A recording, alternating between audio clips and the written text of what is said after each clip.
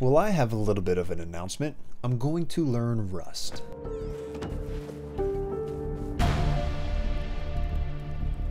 No, no, not that Rust you already know. This Rust. Rust, a memory safe compiled programming language that delivers high level simplicity with low level performance. I've never touched it, as a matter of fact. I've only read a few things about it, like really how it compares to Java. So why am I learning it? For one reason and one reason only advent of code. I've never done advent of code, believe it or not, so this year will be my first, and I'm really looking forward to it. So when I was doing some research about, you know, what languages do people typically use, I guess whatever language you're best at, you can figure out how to get it done, but I did want to try something new. And according to this unofficial survey, Rust is the second most popular for Advent of code, behind only Python. And I don't want to use Python, so I'm learning Rust. And not that I'm looking for another job, but in case you clicked on this video kind of, you know, expecting me to say something along those lines, uh, as far as I know, Rust is a great programming language for folks who want to get a job. Wasn't it like pretty popular in the Stack Overflow developer survey. Most popular languages, Rust is, um, well, down here. That's not too bad at 12.6%. So no, in professional development, it's not JavaScript. It's not Java or C Sharp or TypeScript or Python. It is down here. Oh, but Rust continues to be the most admired programming language with an 83% score this year. Anyway, I don't know. Uh, if you want to learn Rust, check the jobs in your area and see if they have Rust development positions. If that's, I mean, if your sole goal is to get a job, if you just want to make cool stuff, eh, well, learn it. But now I have to decide how I want to learn Rust. And I'm sure many will say, well, Advent of Code.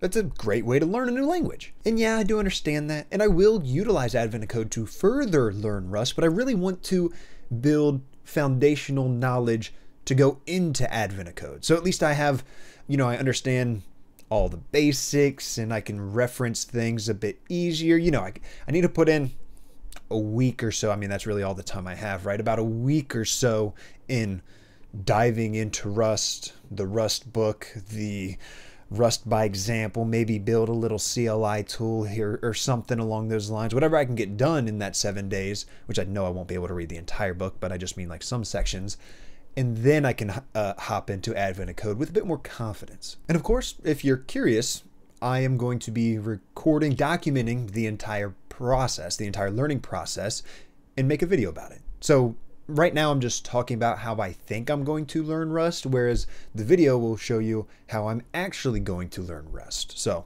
there's that. And don't get me wrong, when I say learn Rust, I'm still going to be absolutely garbage at Rust after the first week, no pun intended, but I'll know a lot more about Rust than I know now. That right there is just to stifle any expectation if you think I'm going to be a Rust pro after a week or anything like that. Mm, no. I honestly don't even know how much I'm going to learn in a week because I've never actually learned a programming language, a new programming language quite like this, where I'm like, I want to learn it as efficient and intentional as possible, enjoyably efficient, because I still want it to be en- enjoyable. I'd rather learn less over the course of a week and enjoy the process than try to cram as much as I can in my head and be miserable. But when I learn a new programming language, I typically just build a handful of projects over the course or a really in-depth project over the course of of maybe a few months maybe even a year or two if i'm just kind of doing it a little bit here and there in my off time you know it's not really a priority it's just because i wanted to build something and that was a language i decided to do it so really where i'm trying to do two things at once build something that I want to build while also learning the programming language that I'm using to build it. And then over the course of those few months, I'll interact with the documentation and read a handful of it throughout the way so I actually understand what I'm implementing. And then I'll have more touches and interactions with what other people have to say about that language or about this library or about this framework or whatever that I'm using. That's typically how I go about it, not let's see how much I can get done in a week. So it'll be interesting to see for me. In what I said earlier, I think that's exactly how I'm going to do it. And please, if you have any minor changes or recommendations on this learning path, I'm all ears. But my plan is I'm going to read through the beginning portions of this book because I've already kind of skimmed through it and I know I'm not going to be able to read through all of this in a week. Not only am I very slow reader, but it's also not just reading. It's it's like implementing and playing around with and things of that nature. So I'm going to read through all of this and run through, you know, hello world, of course. And then um, I'm going to read this because I don't know what the heck cargo is. Cargo is Rust build system and package manager. Okay. So I'm going to have to read through that and create a project with Cargo and do all of this. Then I'll go through the first few sections here, programming a guessing game, common programming concepts, understanding ownership, and maybe a few things down here like well, maybe this because I don't know what the heck a crate is. A crate is the smallest amount of code that the Rust compiler considers at a time. Okay, so yeah, I'll run through as much of this as possible as I see fit. Maybe, okay, how do you write automated tests? You know, I'll kind of skim through it and see what I think will be really applicable, at least for the basics. And then I'll hop over into Rust by example. And I'll go through as many of these as possible. Uh, as it holds my hand as I learn all of these things, and then I'll be ready to build a CLI tool or something along those lines. Uh, I'm not sure what yet, but I'll figure something out. Or maybe I'll rebuild something that I've already built in another language. I've always liked doing that because that way I don't have to worry about all of the semantics of a particular project or tool that I have to learn and build. I can focus solely on learning the programming language.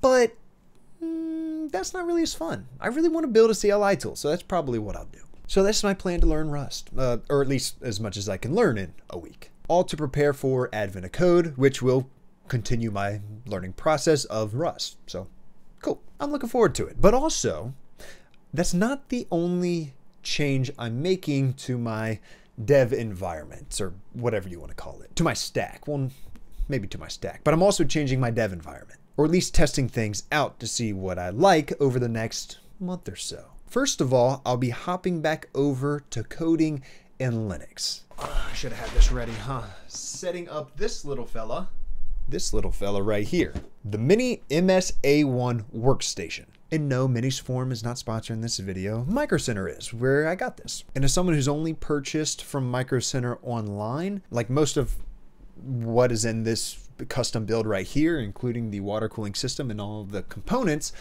going to the store for the first time was insane. My closest store is in Fairfax, Virginia, which is like four hours away from where I live, which that's kind of why I haven't been in person.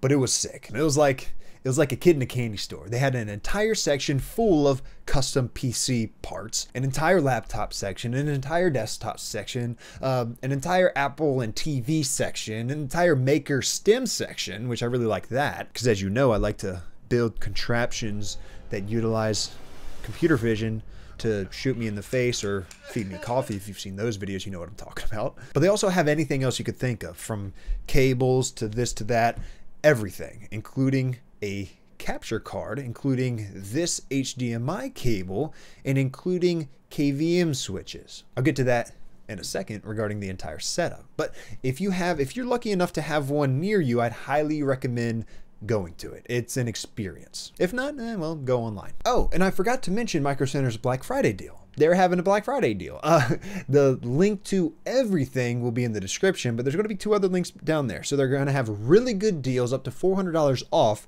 on their Qualcomm powered Microsoft Surfaces. Qualcomm is always a hard word for me to say. Or if you're looking to build a PC like this one, check out their AMD bundles. Like this one right here, the AMD Ryzen 5 7600 X3D bundle. Again, there will be links to the Micro Center's Black Friday deals in the description, so check all of those out and strike while the iron's hot. But if you have have a Micro Center near you, again, highly recommended. So, yeah. But what I picked up is what you just saw. This MSA1, the Elgato 4K Pro capture card, the HDMI cable, and the KVM switch, as well as a USB switch or hub or something. I don't know. It, it's what they recommended based on what I wanted to do because I didn't know what I, I've never done KVM switch stuff, so they were a huge help in, you know, kind of figuring things out for me. And why did I get all of that stuff? Well, if you've been following me for a while, you know that my last setup was dual booting Windows and Arch Linux on this right here.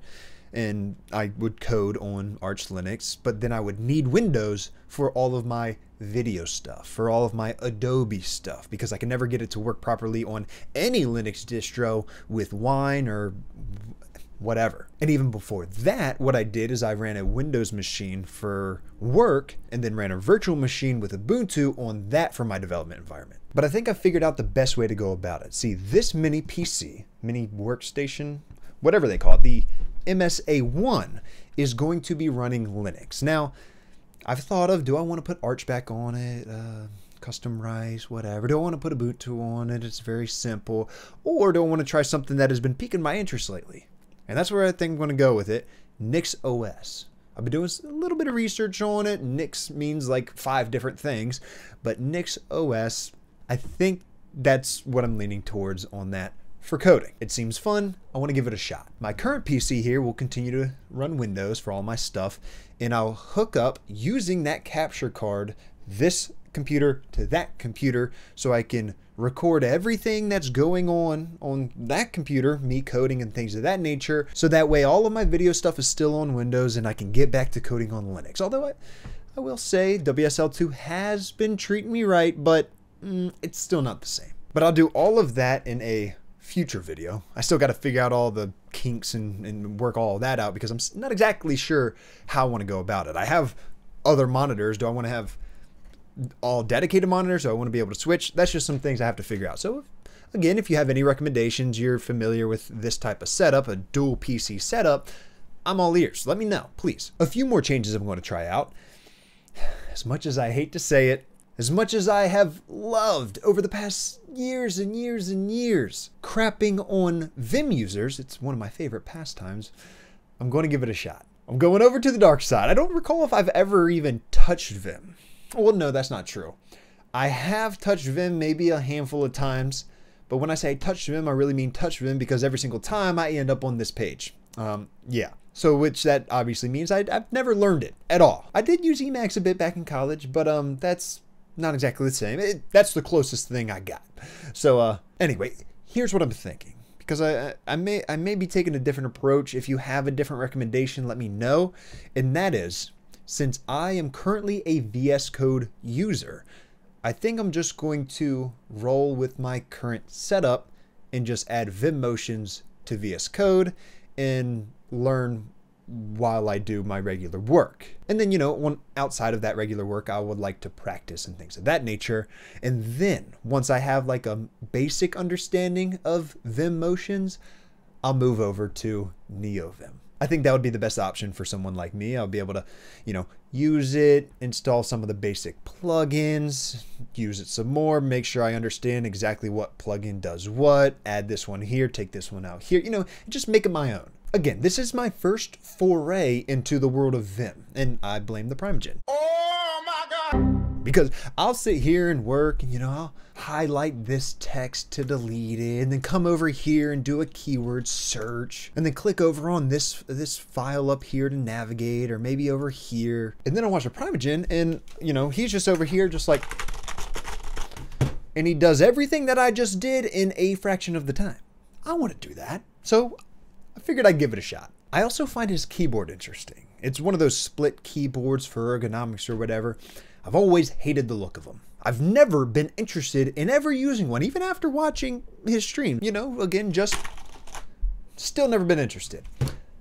Until a Reddit ad got me. This Reddit ad, for a matter of fact, the one for the unicorn. And when I saw it, I was just looking at it like, man, that's a pretty keyboard. And then I kept looking at it like, wait a second, there, there ain't no numbers on there. How do they type the numbers? Do they have an extra keyboard? Like, what's going on? And that led me down the rabbit hole that is 40% keyboards. Look, I, am again, I'm familiar with like the 80%. That's what I use now. I like it. But then I was looking at 40%, like, how do they do all these things? And there's all these different layers, kind of similar to like how we have our shift layer and our control layer and things of that nature. There's different layouts for doing different things. Maybe their Windows key will actually work, unlike mine. Every single Equinox IQ Unix is how it's spelled. Keyboard that I've used, which is two. The Windows key is completely busted after uh, maybe a month. So that's annoying, but I do like the form factor. It seems like the perfect size for me. And again, I've never been a fan of split keyboards. However, if I am considering, well, I'm actually going to try to go the route of stripping down my code editor from VS Code to NeoVim. I'm sure I'll have plenty of plugins and things of that nature, but I'm doing all of that to improve efficiency, as well as you know, I think it would be a little bit more enjoyable. How do I know that stripping down my keyboard from an 80% to a 40% won't have the same result. So I said to myself, might as well give it a try. Uh, see if I like it or not, and then I can make a decision from there. So that's what I'm going to do.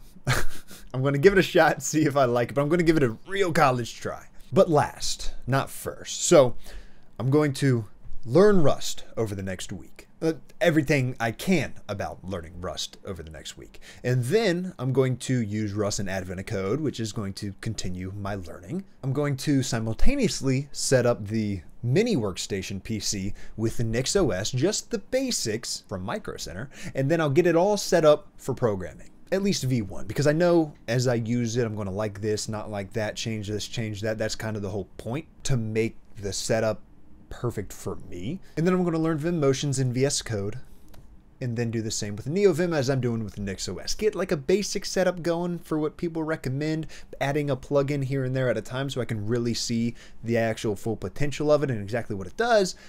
Then, you know, learn things on the fly and make it perfect for me. Or I'll do Vim motions and NeoVim at the same time. I'm seriously looking to y'all for some guidance here because I kind of want to do that route. I kind of do but I feel like the other may make more sense, but maybe not. I don't know. I don't know what I don't know. And then I'll get the 40% keyboard, replace the 80%, you know, throw it in the trash can. Just kidding, my closet, because I'll probably revert back to it, but let's hope that I don't. I'll get it all set up, my layers, my layouts for whatever I do. And then as I use it, I'll learn everything I can to make it as optimal as possible. And again, perfect for me. And of course, since I'm a YouTuber, I'm going to be making videos of every single piece of this process along the way, just documenting my journey and what I do.